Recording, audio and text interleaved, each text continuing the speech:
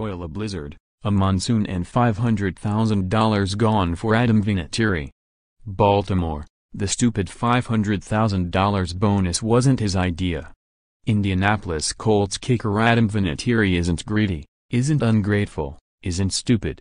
He knows he makes a lot of money. He knows. Over the course of his career, he has made a lot of money. Sure, he'd like to make $500,000 more. But not like this. Not tied to the vagaries of football, to things that have nothing to do with Adam Vinatieri himself. Things like wind and rain and snow and even some dude for the Baltimore Ravens making like legendary former U.S. high hurdler Renaldo Nehemiah and flying over a Colts blocker before smacking away Vinatieri's half a million. Er, Vinatieri's 38-yard field goal.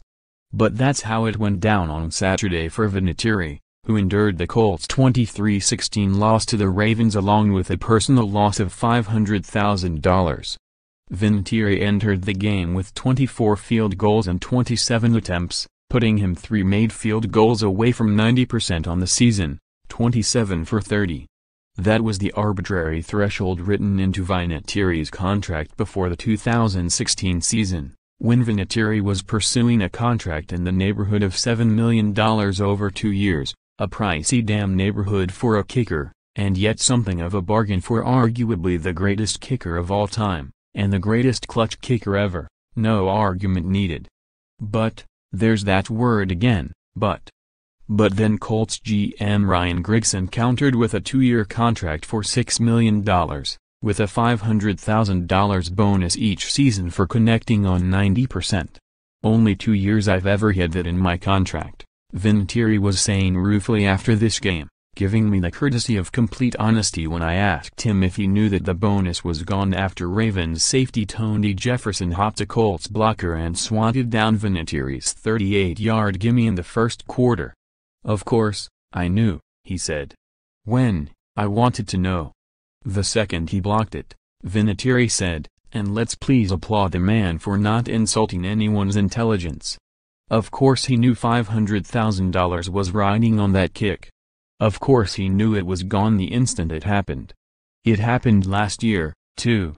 Not sure which one was worse, either. This season's bonus loss was pretty bad, given that Vinatieri was 22 for 23, 95.7%, entering the game two weeks ago at Buffalo and was asked to kick two field goals in an actual blizzard.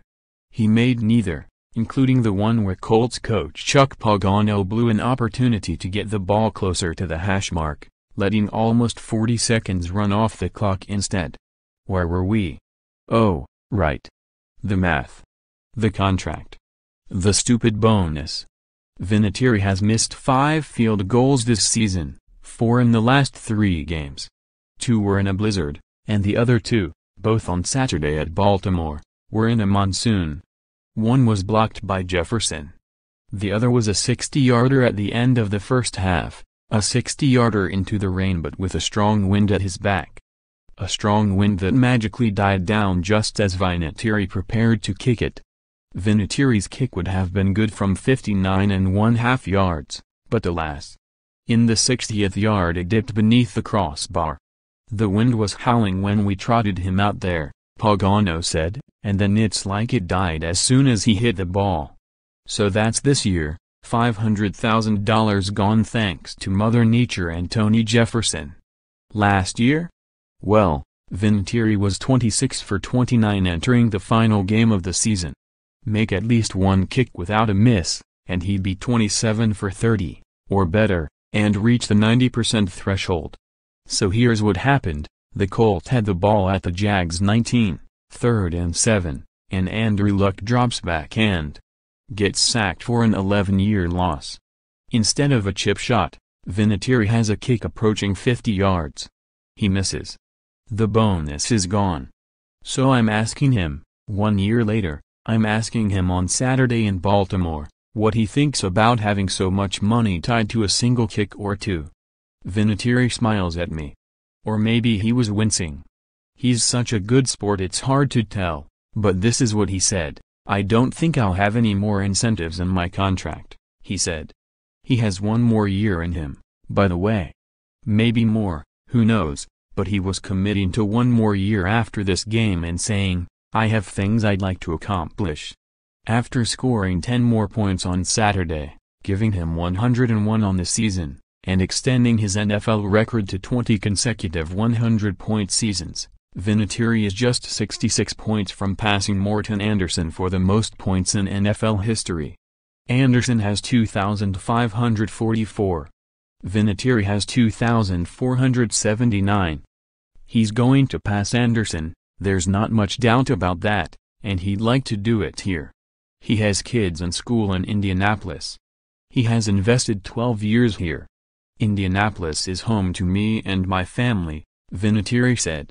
I love the Irsay family, but I understand this is business. I just know I'm going to play another year. He'll leave, too. Believe that. Vinatieri was telling me he doesn't want to move his family, or leave them here while he goes somewhere else, but he'll do it if the business of the NFL pushes him that way. He has played a long time, this is his 22nd NFL season, and made a lot of field goals, 557, and earned a lot of money, more than $40 million, according to OverTheCap.com. He's 45 years old but getting better with age, and was pretty good when he was younger, winning two Super Bowls for New England with kicks in the final seconds two of his NFL record 27-game winning kicks in the final minute of regulation or overtime. But Holder Vinatieri is better Vinatieri. His accuracy up to age 39 was 83%, 448 for 540, but he has converted 90% since then. As recently as two weeks ago, Vinatieri was second only to Stephen Gostkowski, 91.2%, since 2013 but now he stands fifth in that span, 89.4%. What happened? The blizzard of Buffalo happened. And the monsoon in Baltimore. And Tony Jefferson, hurdling a Colts blocker in a single bound. You ever talked to someone within hours of them losing half a million bucks? I have now, and I can tell you what that person looks like, like he's not smiling at all. Like, definitely, that was a wince. Find Indy Star columnist Gregg Doyel on Twitter, at Gregg Doyel Star or at facebook.com slash greg.doyel. More Colts coverage The good news? Just one game left who are these guys? At least they're trying.